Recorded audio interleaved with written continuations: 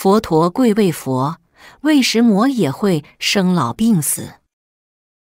阿含经中有这样一段故事：有一天，阿难尊者来到佛陀的面前，向佛陀顶礼，以两手抚摸佛陀的双脚，并亲吻其上。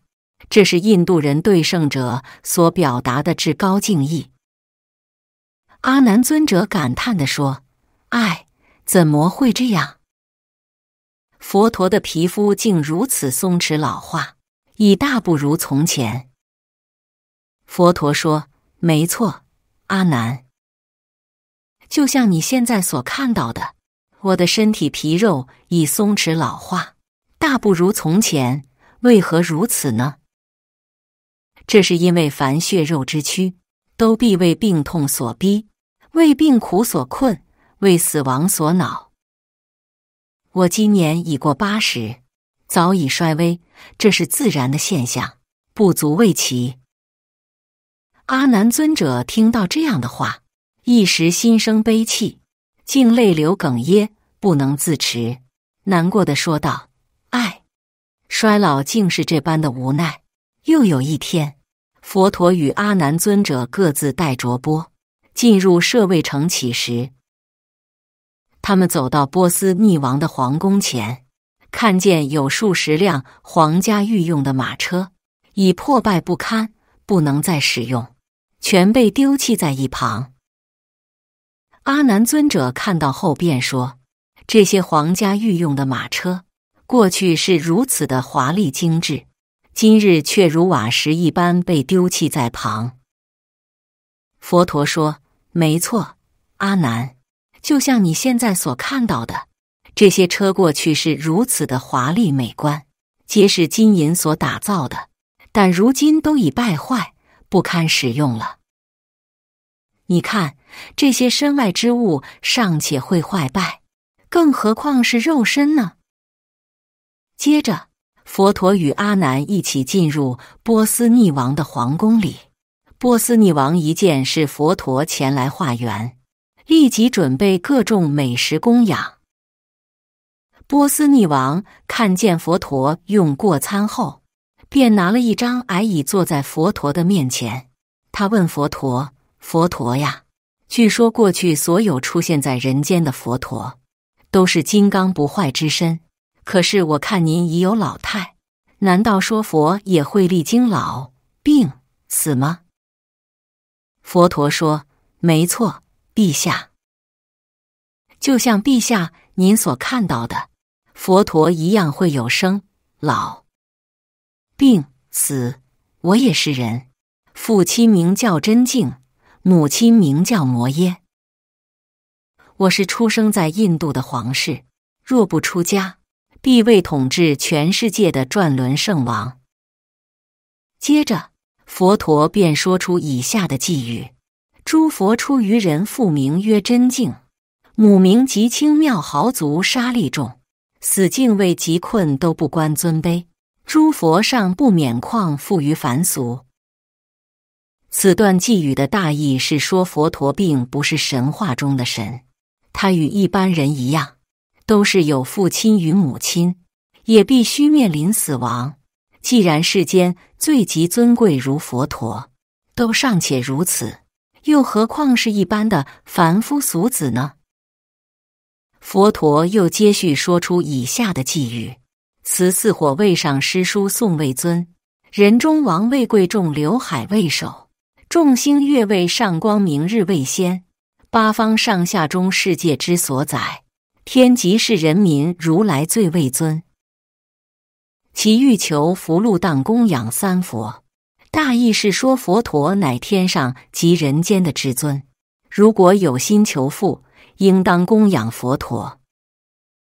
当佛陀说完以上的寄语后，便起身离开皇室，回到齐桓精舍里，走到所有的比丘面前，对比丘们说：“有四件事是所有人类都喜爱的，分别是年轻力壮、健康无病、寿命长远，以及与喜爱的人相聚在一起。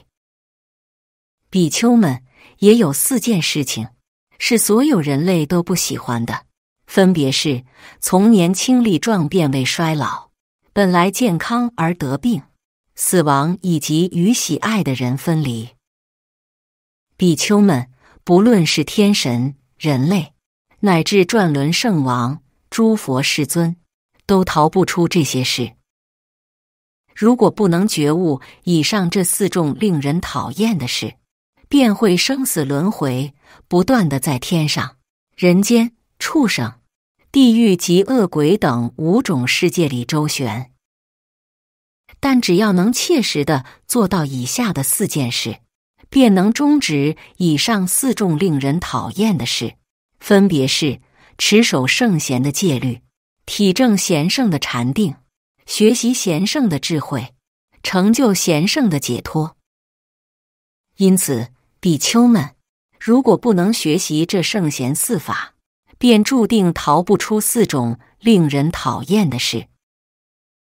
我跟你们大家都是在修持这贤圣四法，才能彻底断除导致生与死的欲望，不再有来生。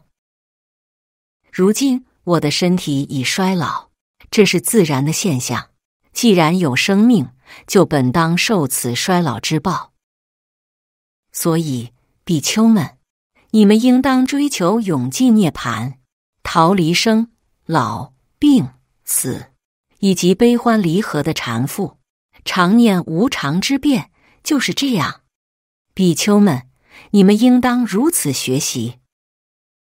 佛法的独特之处，在于缘起非我。即认为世间一切现象都是互相依存，缘生缘灭。如果理解了缘起法，就应该明白缘起法是彻底否定了有所谓主宰、有所谓万能的力量。因为如果你认为有这种万能的力量，那么它必须是非缘生缘灭的，那么就必然违背缘起法，而非世间的。非缘起法的涅盘，也根本不是什么万能力量，因为涅盘是完全不同于世间现象的五蕴寂灭，完全彻底的出离世间。在佛陀出现之前，宗教都是承认有这众万能的力量。佛陀是历史上第一个提出没有这众万能力量、没有唯一主宰的人。佛陀的非我理论为想要解脱的人提供了真正的正确方向。因为如果一旦认为世间存有万能的力量主宰，存有梵，存有道，存有上帝，那么必然导致方向的错误，必然导致关键性的造成轮回之因的执着于现象的实质作用无法断除，而且还会加强这种作用。于是必然造成生灭的相续，则不可能有解脱，不可能出世间轮回。佛教不是有神论，佛不是神，佛与我们一样，有父亲，有母亲，也有生老病死。但后人将佛陀神化为如上帝一般的神话人物，错误的编造与流传住他的所谓教导。因此，无法消除自己内心真实的烦恼，反而重视外在的仪式。无怪乎常听闻有人讥讽佛教徒，说一套做一套，岂不令人唏嘘？今天那些号称学佛的人，面对假冒佛教的邪师魔头，已经失去了辨别能力，佛法被乱用、被玷污，成为外道邪宗招来信徒的工具。这是佛法的悲哀，也是众生的悲哀，却彷佛也是历史的必然。这个故事还提醒我们关于人生和世俗的观念。佛陀通过描述衰老、疾病和死亡的不可避免性，以及皇家马车的破败，传达了一种深刻的教训。他告诉我们，身外之物都是会毁坏的。包括我们的身体，因为他们都受到病苦和死亡的困扰。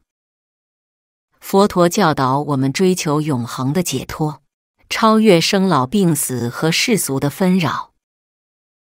他强调修行的重要性，通过持守戒律、修持禅定、学习智慧和追求解脱来达到这一目标。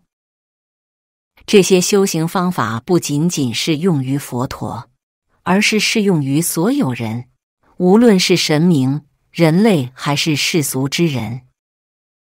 佛教不是有神论的宗教，佛陀并不是神，他是一个普通的人类，也经历着生老病死。佛教强调的是个体的自我觉醒和责任，以及实现涅槃的可能性。然而，随着时间的推移，佛教遭受了误解和滥用，有些人将佛陀神化，并混淆了教义。将佛教变成了一种迷信或外道邪宗的工具，这种误解对佛教和众生都带来了痛苦。因此，真正理解佛教的教义，并将其正确应用于生活中，是重要而迫切的。我们应该超越表面的物质追求，追求内心的平静和解脱。通过理解缘起法和非我理论，我们可以超越对万能力量或主宰的错误认知，认识到世间现象的无常和互依互存。这样的觉悟可以帮助我们摆脱轮回的束缚，追求真正的内心自由和永恒的解脱。因此，佛教的核心是关于觉醒、修行和超越世俗的教义。只有通过深入理解和实践这些教义，我们才能摆脱痛苦，追求内心的平静和解脱。这是一个持续的旅程，需要我们不断的学习、反思和修行。